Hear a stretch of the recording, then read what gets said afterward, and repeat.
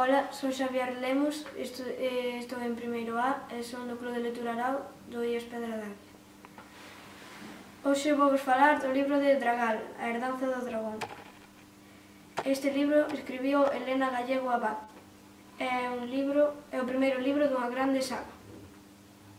E o libro trata sobre Adrián, que é un neno que lle morría o pai, e como herdanza deixalle un medallón con dragón.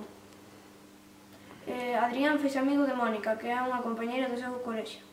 Entre eles buscan a información sobre o tema e acaban indo ás catacumbas da igrexa de San Pedro, que é onde está o corazón do dragón. Ao final, Adrián eh, empeza a convertir nun dragón e ten que ir a unha fonte para que nadie poda ver.